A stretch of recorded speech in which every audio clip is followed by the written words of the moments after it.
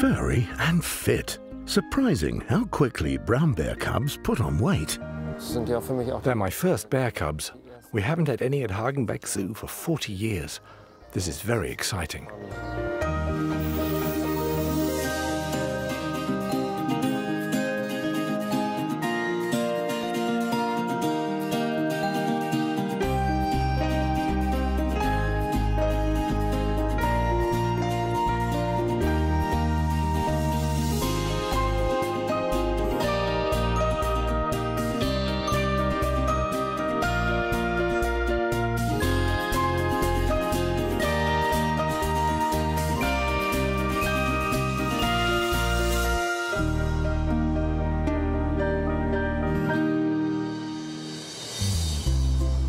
Six days ago, tapir female Carmina brought her baby to the world. Tapirs are anteaters from South America. Zookeepers Thomas and vet Adriane look after the little one.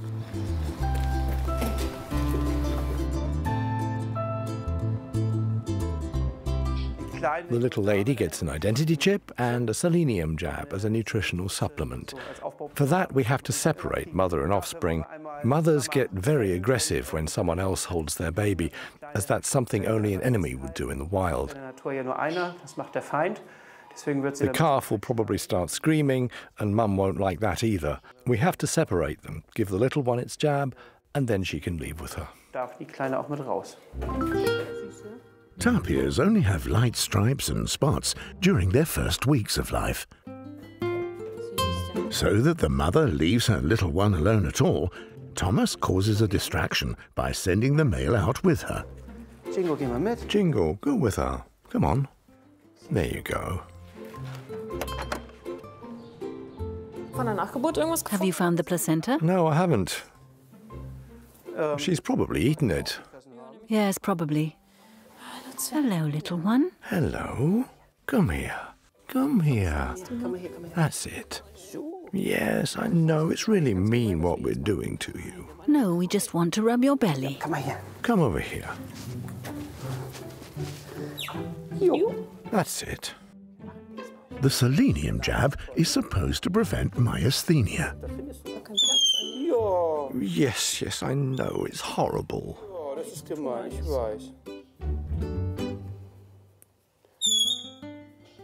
We're nearly done. Why are you making those noises? What are people going to think? That you're torturing the poor little thing.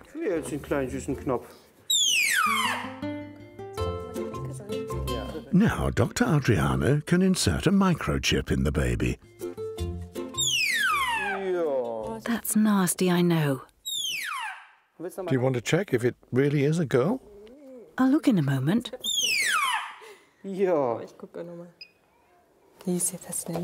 Okay, now you have a number.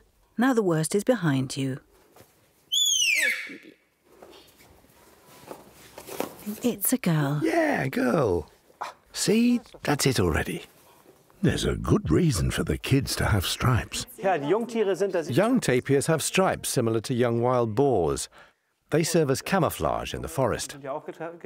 Enemies can't make them out so easily when their mothers hide them in the undergrowth. In the early weeks, they're often left on their own until the mother returns to feed them. That's why this little one was waiting here patiently, well hidden. That was a little bit mean of us, eh? But look, she really likes being scratched. Shall we open the door so that her mum can get back to her? She's running back and forth outside. I can hear her the whole time. Hello, Carmina. Hello, Carmina. Rein, Mäuschen. Everything's fine, little one. Come in. Schnell gucken, ne? Yes, look, we haven't done anything, I promise. Wir haben nichts gemacht, ich verspreche dir. New World porcupines are rodents. The female gave birth just a week ago, and now the little newborn is about to get his chip. A kind of passport for zoo animals. Hinter seiner Mutter habe ich ihn befürchtet. Oh.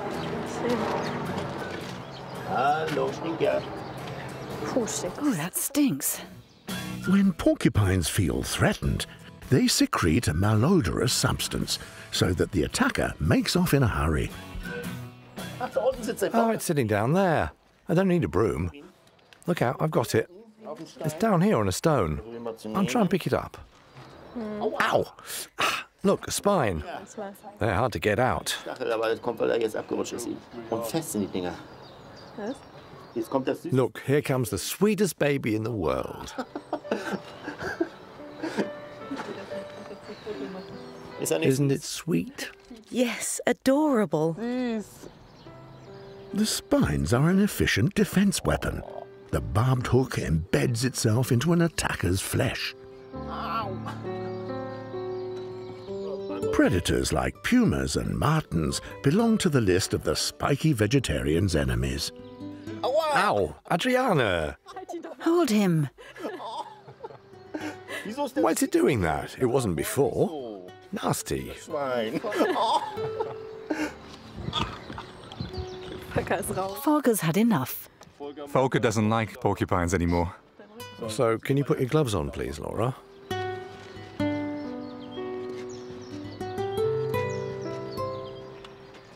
Now, pick it up carefully under its stomach. Gleich so das links. Pass auf. Watch out. Guck mal, wie ich aussehe. Hey, it's got stuck. If Volker carries on this way, it'll have no spines left at all. Oh, that really hurts. The spines must be very soft in the womb. I can't believe they prick like this. Hedgehogs are also soft when they're born. Der ist ja She's not even a week old, but the spikes harden fairly quickly. But while they're being born, they're obviously quite soft.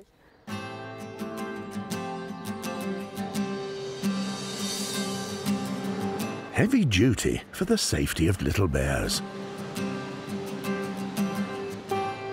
The Kamchatka bear brothers are called Vanya and Mischa. Now, at three months, they can leave their nursery.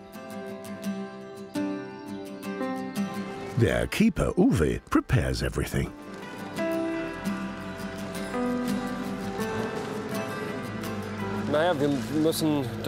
We have to make the enclosure childproof. so wie wir zu Hause The same way we make electrical sockets safe and lock cupboard doors when our kids begin to crawl. müssen wir das hier im Gehege auch machen.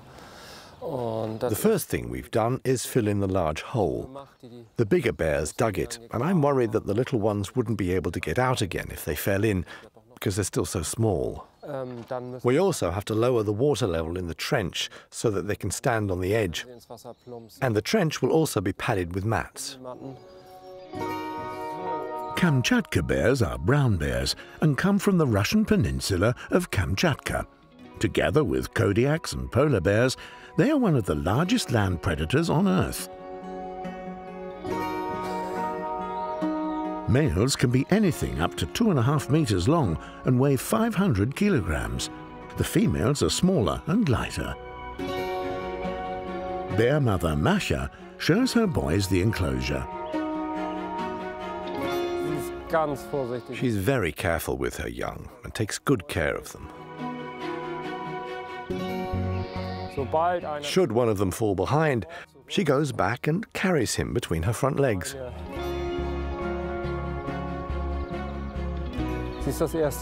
Masha is a first time mother and a very young mother. That's why she surprised us a bit with her cubs this winter. in diesem Winter. Masha is just four. Uwe didn't expect her to give birth until next year at the earliest. Ist das Wasser so The water's so far away, Masha. Someone's stolen the water. Thanks to the low water level, the little ones can still stand close to the shore. Brown bears are good swimmers, but the youngsters first have to learn how. Du merkst das so ein You can see that the smaller one's a bit braver. He's the one leading. The other one's more cautious. Der andere ist ein bisschen vorsichtiger. It was the same in the litter den. man schon gemerkt.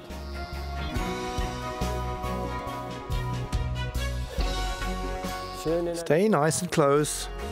At their birth three months ago, both of them weighed 500 grams. Now they're 10 kilograms. Für uns ist es schon was. For us, they're really special. We haven't had bears born here for 40 years. die hier sind. And for the first time, it's worked. Their mother can rear them herself without humans having to help out with the bottle. Da aufgezogen werden hier. Next, Uwe would like to turn on the shower for the two bear kiddies.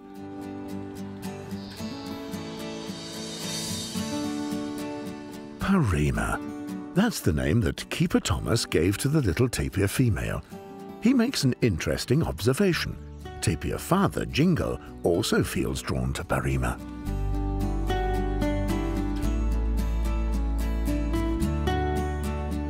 But in tapir circles, only mum rears the children.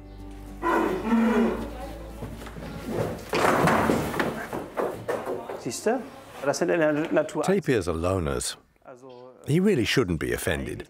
He's interested in the little one because she smells intriguing. It's something new. But the mother's made it clear that he should leave her alone. A tapir mother looks after her child for one year. She meets the male exclusively for mating. Tapirs aren't known for threatening behavior. It's strange that I'm allowed near the baby, but Dad's not. We just get on better, don't we, huh? Nee.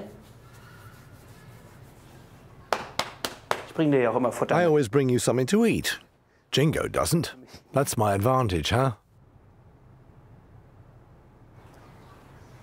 You do look after your little one, don't you?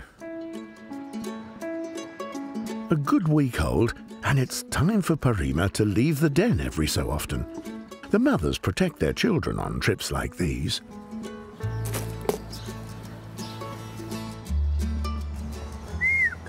Come on out, you two. Come out. Staying in the stable's no good. Come. Come mit. Draußen sind Karotten. There are carrots outside, just for you. Huh? Und du kleine And you, little nipper. Do you want to come with us? Your little ball of fluff? Weil du Wunder Off you go. Du gehst mal Go and see what they're doing. Follow your mum. Aufstehen. Get up. Get up, little tapir. So, Go on, follow your mum. geh mal mit. Parima has a total mother fixation and won't move an inch. Next time, Thomas will lure her out with honey. Das ist halt der Schwung. That's the best thing about animals. They have their own minds. Das ist nicht immer so, wie man sich das vorstellt. Things just don't always work out the way you'd like. Komm mal. Come on, Carmina, come on. Come on out. Take the little one with you. Nicht wieder umfahren. Don't fall over again. Oh. Kann Great. This is working really well. so eindeutig nicht. So you definitely don't want to go out. Okay, we'll give it a try later on. See you later. Bis später. So. Okay, Jingo. Now you've got all the food to yourself. They don't want any twits. More for the man then. Lass es jetzt. Enjoy it. These marmosets have whiskers like the old German Emperor Wilhelm II or Kaiser Bill, thus the name Emperor Tamarin. Thomas has noticed that they have young. Und gestern konnte I couldn't get a closer look yesterday because they were so excited. das wollte ich mal bloß Now I need to make sure everything's okay. Yes. Within a given group, it is the exclusive right of the dominant female to have babies. Du bist Ah, there you are. Now, let me have a look. She also mates with all males in the group. As no one knows who the father is, they all look after the babies. Die werden ja The mother doesn't carry them about, the males do that. Männchen oder männlichen Tieren. Komm mal her, kommst du mal her? Come over here. Good. This one here's the dad. At least the daddy of the moment. Ja. Und am Anfang, At first, they quarrel about who carries the kids, but it's mainly the males. aber am Anfang ist es halt hauptsächlich das Männchen dann. The ladies also have whiskers, or moustaches. Das ist das Weibchen, man sieht That's the dominant female. You can see it from her teats. Aber die, die, die halten sich The little ones can hang on really tight. eigentlich ziemlich topfit. They look absolutely fit. Nothing to worry about. denke mal, da brauchen wir keine Sorgen machen. So, Tamarins feed on fruit, tree sap, insects, and other small creatures. In an enclosure, they share these with other apes, the sakis.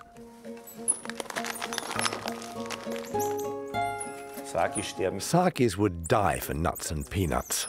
Tamarins for raisins.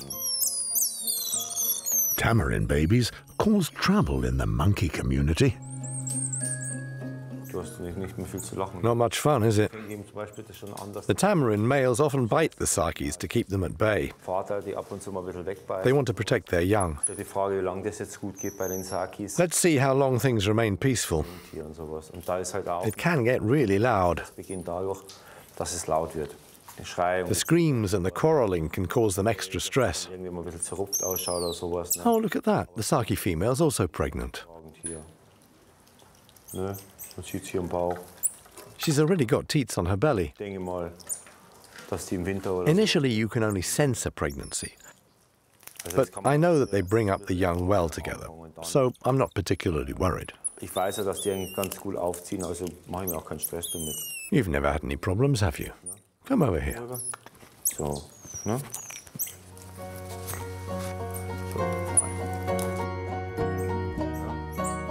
So. Okay, I'll be off again. Jo, ne?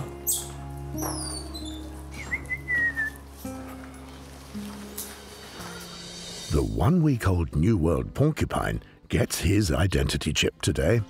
Oh, Ow!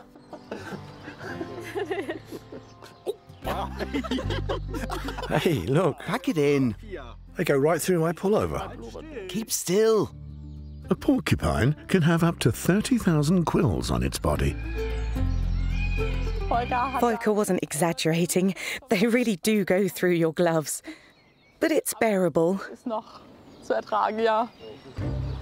By means of a cannula, vet Adriana implants the baby's microchip ID under the skin.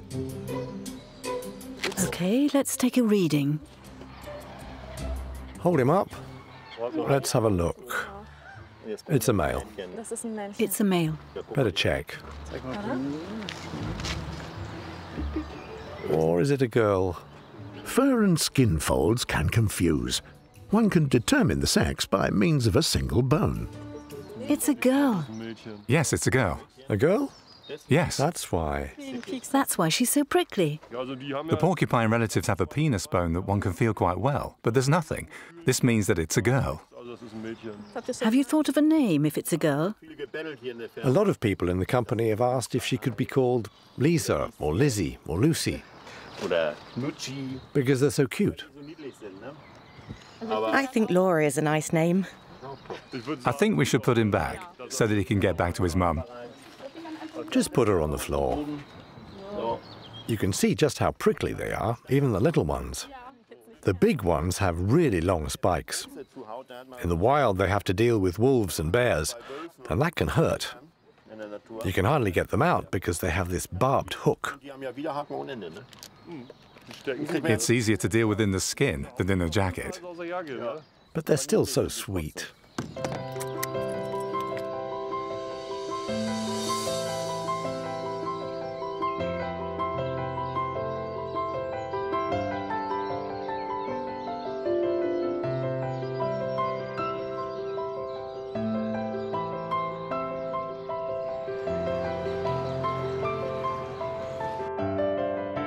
The Hamburg walrus babies Loki and Thor are one and two years old. They are the only walrus calves ever to have been born in Germany.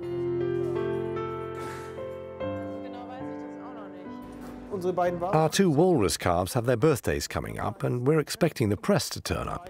That's why we'd like to find out how they react to a birthday cake. If it's your birthday, you get a cake, even as a walrus. A fish tart should please the mini walruses. These seals live in cold seas. This is why they have a very thick layer of fat. They are incredibly sweet. It's heartwarming. Did you know they have whiskers from birth? For seals, the beard is an important sensory organ. They track down prey with their bristles.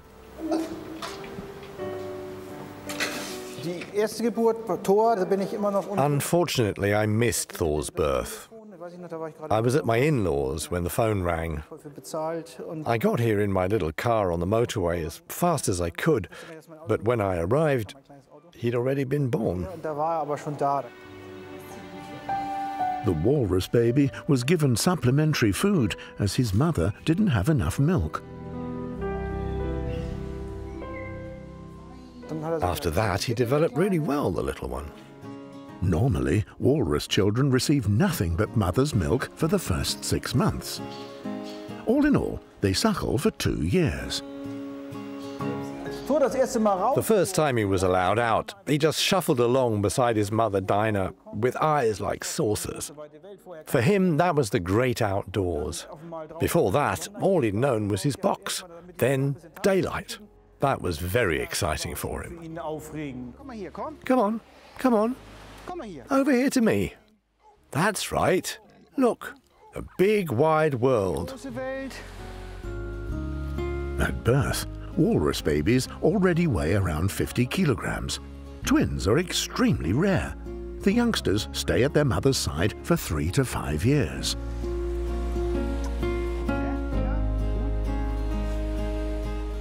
Despite the lack of mother's milk, Thor doubles his weight within three months.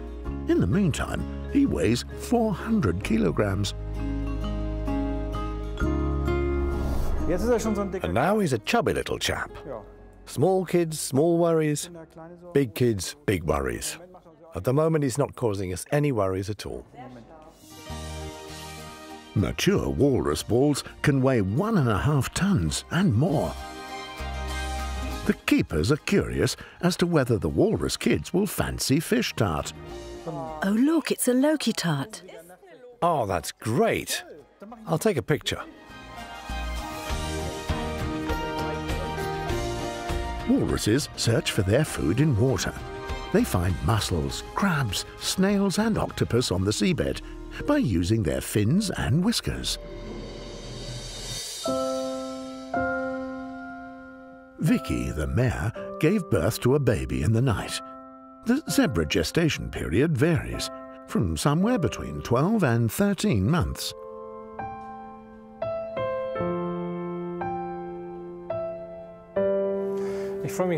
I'm really happy about this baby. I was expecting her three or four weeks ago, but I miscalculated. Zebras weigh around 30 kilograms at birth. I have been asked about names, but as far as I'm concerned, at first there's no name. I wait until I see something or something happens that I can associate with a name.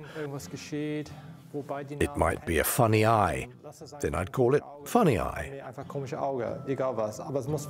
It just has to be a typical characteristic of the foal. That's when we start to think of a suitable name. Within a few short moments, a newborn stands on its own legs. Today she's allowed into the bigger enclosure. She's already familiarized herself with her house and her mum, and now she can be introduced to her aunt, her half sister, and her dad. Hello, sweetie. What would you like? I'll get everything ready. Zebras are flight animals and very shy. Tony knows that fresh maize will at least lure the older animals outside. Little No Name is then bound to follow.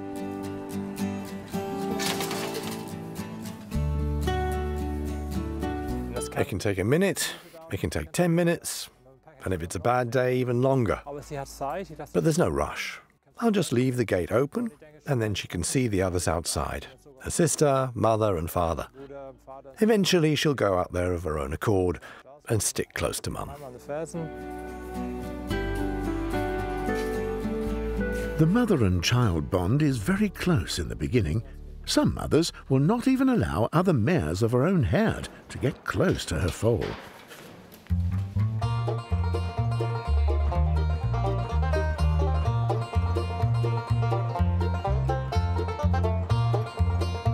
Burchell zebras live in family units. They consist of a stallion, often several mares, and the offspring.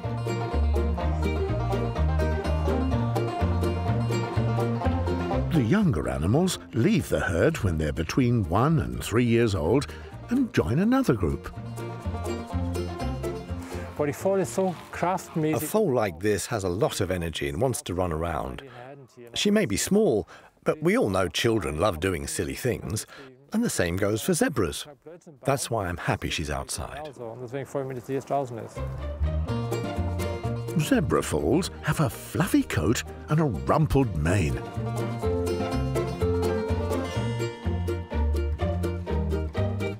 This is, however, only the case in the first weeks of life. Thor and Loki, the walrus children, are served with fish tart. Hello! Test party! The little walruses are soon consecutively one and two years old. Before their first photo shooting, they have to train the art of cake battle.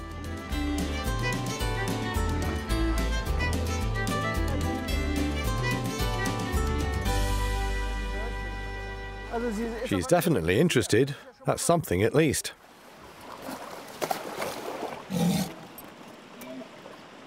Look, we've baked something specially for you. That's fish. Look. Have a good look.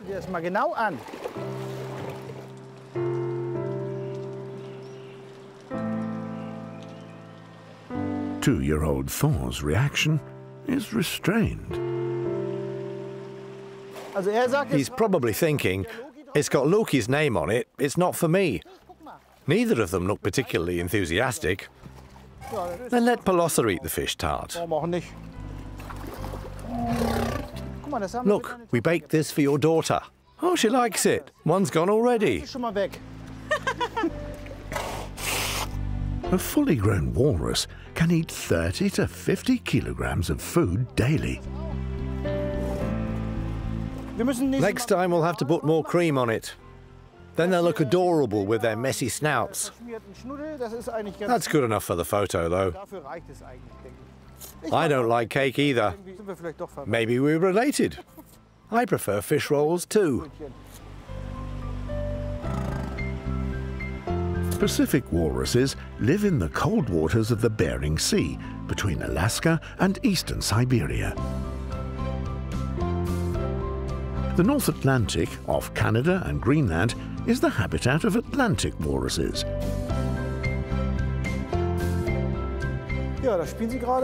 Yep, those are our bundles of joy playing together. It's nice to see how pleased they are to see each other. In the long run, walrus calves are bored by adults. When we are kids, we don't like hanging around with adults either. We prefer playing with other kids. And it's the same with them. They're far more active than adult walruses. That's always lovely to see.